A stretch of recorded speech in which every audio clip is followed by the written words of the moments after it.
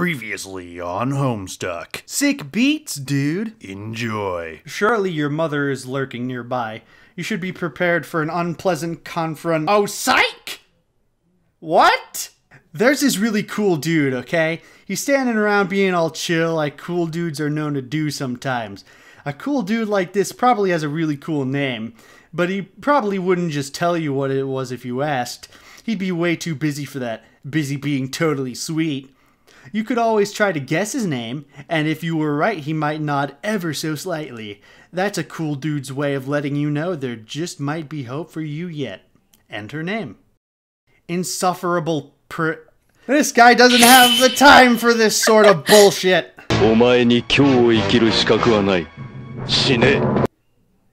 Dave Strider. Man, this guy is like 200% too cool for me. Your name is Dave. It is an unseasonably warm April day. Your bedroom window is open to let some air in, and your fan is cranked. Arguably, even more cranked would be your fly beats, which brings to us your variety of interests. A cool dude like you is sure to have plenty. You have a penchant for spitting out unbelievably ill jams with your turntables and mixing gear.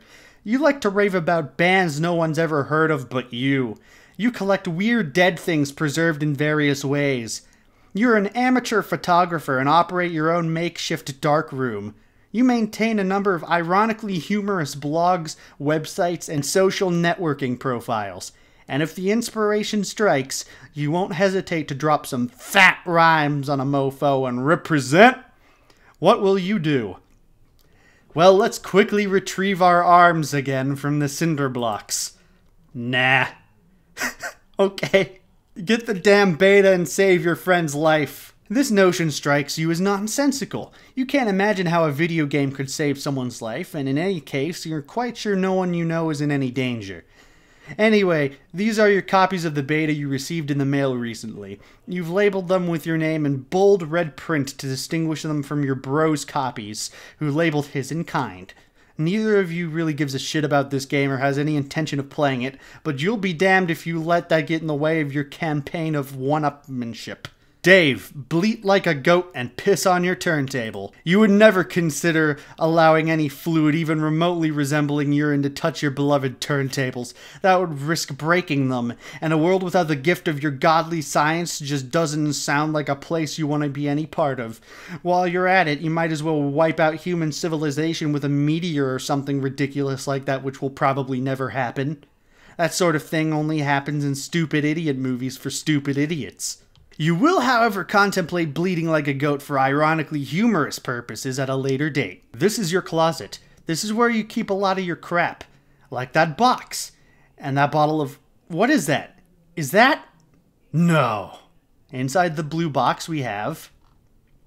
The autograph from Ben Stiller? This is the package that your friend John Egbert sent you for your 13th birthday a little while ago. It now contains nothing except a note and a certificate of authenticity vouching for the genuine Hollywood memorabilia which the box originally contained, and which you are now wearing to be ironic, but also to be incredibly cool in a way somehow intangibly related to the ironic nature of the accessory. You find it sort of exasperating to explain these subtleties to people. The box also included a signed photo of Ben Stiller, which now proudly hangs above your closet. Proudly and ironically. You captchalogued the box for what the hell is Doctor Who? The what now? You capsuloged the box through your hash map fetch modus. Your modus's current hash function resolves the index by valuing each consonant at 2 and each vowel at 1. The total is divided by your number of cards, and the remainder is the index. Box equals 2 plus 1 plus 2 equals 5. 5% of 10 equals 5. The box is captchalogued in card number 5. Kill me, please! Oh, hell yes, it's an unopened container of apple juice. You thought you were all out. It's like fucking Christmas up in here. This is so great. You've got to tell John about this immediately. He'll be so excited. Wait, where weren't we talking about this in an earlier episode? I just found an unopened container of apple juice in my closet. It's like freaking Christmas up in here. You captchalogue the juice in a card 7. 2 plus 1 plus 1 plus 2 plus 1 divided by 10 is 7. In addition to letting your buddy know about this outstanding juice windfall, you figure you'll wish him a happy birthday while you're at it. In your own cool, sort of roundabout way, of course. Good thing you looked at that box he sent you, or you might have forgotten. You also might as well ask him about that beta. This kid's been harping about it for weeks. It would be cool if it came on his birthday. He'd be one happy camper. Wait a second. Let's see. Uh, okay. Open that up. Hey, so what uh, sort of insane loot did you rake in today? I got a little monsters poster. It's so awesome. I'm going to watch it again today. The apple juice scene was so funny. Oh hell, that's such a coincidence. I just found an unopened container of apple juice in my closet. It's like fucking Christmas up in here. Okay, that's fine, but I just have one question and then a word of caution. Have you ever seen a movie called Little Monsters starring Howie Mandel and Fred Savage? But the seal on the bottle is unbroken. Are you suggesting that someone put piss in my apple juice at the factory? All I'm saying is, don't you think Monster Ma- Howie Mandel has the power to do something as simple as reseal a bottle? Try using your brain, numbnuts. Now, you guys probably recognize this conversation from episode 1. For those of you who are a little confused, basically, we're back at the beginning of the comic, but now we're seeing things through Dave's perspective. Go online and view sites indicative of your interests. You open the. Hephaestus. You open the Hephaestus web browser and direct it to your ironically maintained blog where you post monthly satirical reviews of GameBro magazine. Your latest post is a review of the March issue. You've been meaning to write a review for the latest issue too, but you've sort of been dogging it. Something about the game they're reviewing just doesn't strike you as ripe for st- satirical purposes. Game Bro! Grand Snack, fuck yeah! That's awesome. The only gaming magazine you'll ever need. The only one I'd ever want.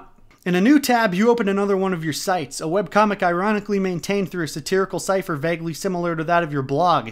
It's called Sweet Bro and Hella Jeff.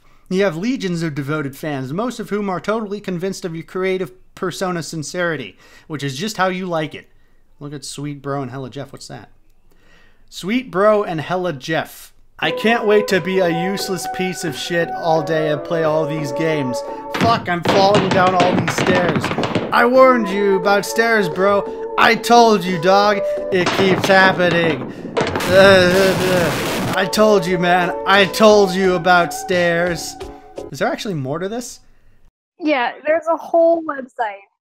You do not have to read it, but they will reference this one that you just read a lot. So it's good that you read the one. Wow, there's actually a lot of these. Yeah. Yep. Started as a joke, and then Andrew Hussie was like, "What if it was real?"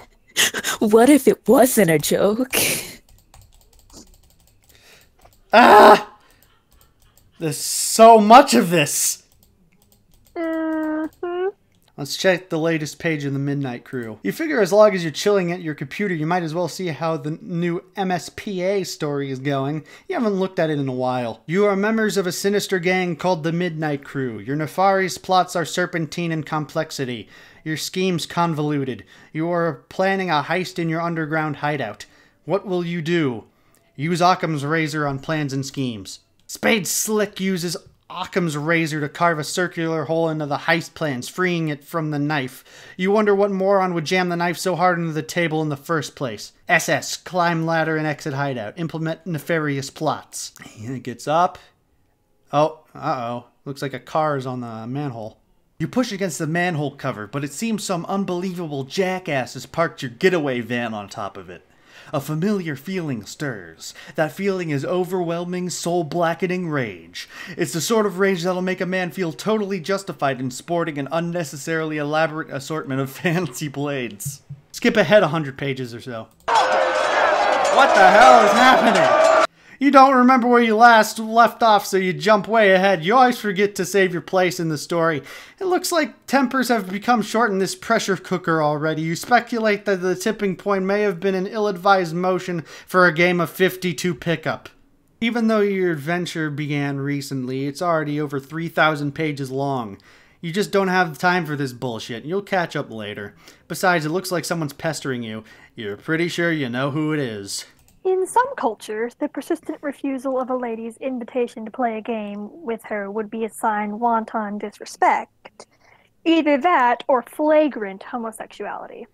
What? Oh no, no, look, I'm busy, okay? I've got a lot of shit on my plate. I'm sort of a big deal, okay? I know. Sometimes I wonder how you are ever allowed to pay for meals in restaurants.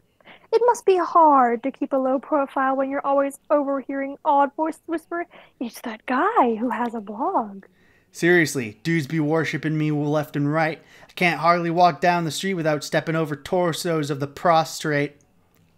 Navigating the urban landscape, I'm sure, is difficult enough without an obstacle course of differential flesh and skyward asses. Perhaps adapting the art of parkour to your unique environment would help. Yeah, I mean, damn. Like, there's this scruffy little shit at my feet, an orphan or something, I don't know, face flush on the pavement. I'm like, dude, you listening for a stampede of buffalo or something? He braves a look at me and then gives my shoe a little kiss and scurries the fuck off. Heavy is the crown. Yeah, not kicking Oliver Twist in the fucking face every day is my gift to the world, I guess.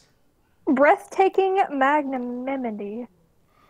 Among other things, I just give and fucking give. Indeed, nary a jewel tumbles from your wish box of daily exploits, which I imagine does not sparkle. Oh, for fuck's sake. You're just lobbying me to play that dumb game. Baseless accusation. Look, I am telling you, Egbert is all about that game. He will play it with you and probably be tickled retarded about it. I know this very well. I cannot hasten his mail's delivery, however. Yeah, yeah, I'll hassle him some more about it. And look, how about this? If you ever find yourself in the position where your life depends on me playing that piece of shit game, then I'll play. Will that make you happy? More than you know. It perfectly mollifies my grief over the demise of chivalry. And that's all for today, folks. Be sure to tune tune in next week or day or whatever. Thank you guys so much for watching. I uh, really, really, I really do appreciate it. All right, everybody say bye. Bye bye. Bye. Goodbye.